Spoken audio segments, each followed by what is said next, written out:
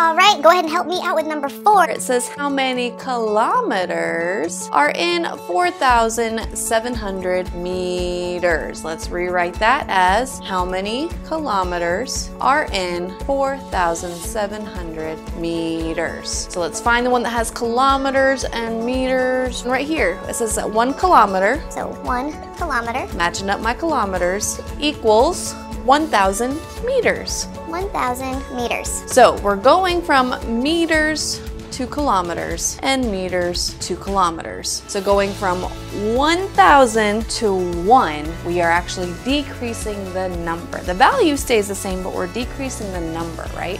Which means that we need to divide. So 1,000 divided by what will give us 1? Itself, right?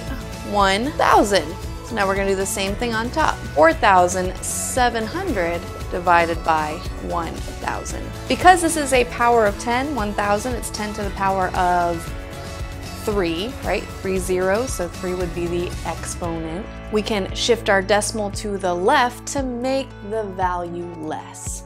So let's do that. 4,700, where's the decimal? Oh, it's right there. Hiya! Hiya! And shifting it, how many hops to the left? One, two, three zeros. So one, two, three hops to the left.